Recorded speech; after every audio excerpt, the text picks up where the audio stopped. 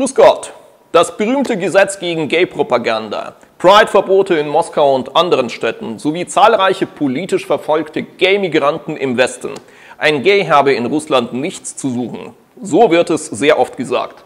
Heute zeige ich einen Mann, der sich im System von Putin ganz gut zurechtfindet, obwohl oder gerade weil er gay ist.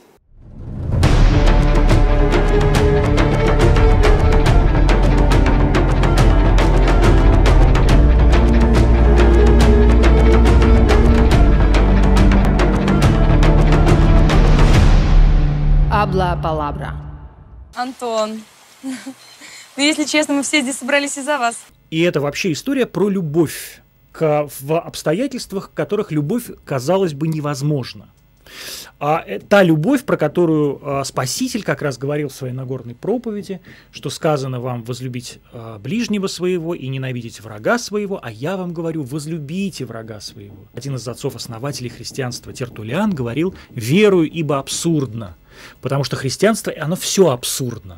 А я горжусь тем, что меня ненавидят все. А, потому, а я вас всех люблю. So eine Predigt über Christentum und Nächstenliebe erwartet man normalerweise von einem Priester. А потом мы с тобой один раз переспали. И вот. Ладно, ты крейзи. Да я Да знаю. между нами ничего не было и быть не могло.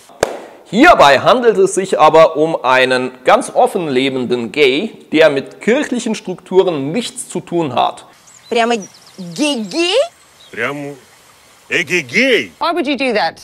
Come out so openly in Russia on television Because some and lose your because job. some because because somebody should do it. und der in Russland sehr wohl bekannt ist. Seit vielen Jahren ist Herr Krasowski, übrigens ist heute sein Geburtstag, alles Gute, Herr Krasowski, ein sehr bekannter russischer Journalist und politischer Stratege.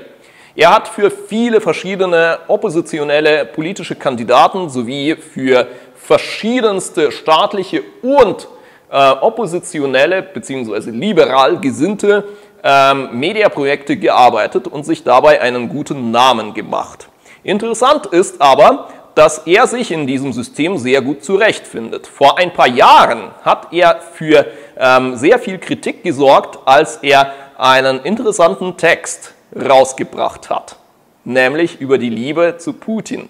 Я написал э, текст под названием «Любить Путина». И все начали трактовать этот текст по-разному. А текст действительно вот был такой, что если ты хочешь что-то изменить в России, ты должен отнестись к Владимиру Владимировичу Путину как к климатическим обстоятельствам и полюбить эти климатические обстоятельства. Если ты действительно хочешь что-то здесь поменять.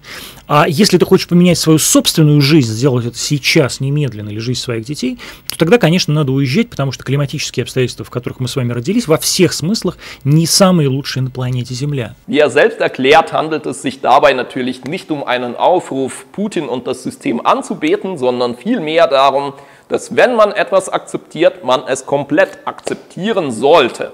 Und natürlich daran arbeiten sollte, dass man die Nachteile äh, des akzeptierten Systems eventuell verbessern kann. Seit ein paar Jahren ist er aber überraschenderweise für den staatlichen TV-Sender ähm, Russia Today tätig. Russia Today ist weltweit bekannt als ein Propagandainstrument des Kremls. The world according to Russia today. Is that just the news from a Russian perspective? Or Kremlin propaganda? Was aber nicht bekannt ist, ist die Tatsache, dass eine der Schlüsselfiguren und einer der Stars bei diesem Mediaprojekt äh, Herr Krasowski ist, nämlich ein Gay. все героини, все счастливы, все дружно гордятся собой. И не потому, что они против Путина. В реальности все гламурные девчонки за. Я не удивлюсь, если Юлия Навальная голосовала за нашего президента. Просто сейчас хайпово быть не согласным. Стремно в сети объявить, что ты за власть. Всем хочется быть юным и смелым. Девчонки, хватит, я все про вас знаю, вот все. Ähm, dabei äußert er sich ziemlich offen dazu, dass er gay ist und äh, dass äh, die Gay-Rechte in Russland äh, äh, weit davon entfernt ist, was er sich als gay vorstellen würde. Ähm, er darf, wie wir sehen, auch äh, sehr offen über ähm, seine Einstellung Putin gegenüber sprechen. Niemand hindert ihn daran. Ähm, und ähm, das alles, obwohl er für den Staat arbeitet. Interessant. Naja, schreibt in die Kommentare, was ihr davon haltet und äh, ob euch ähm, dieses System paradox erscheint oder nicht. Alles Gute.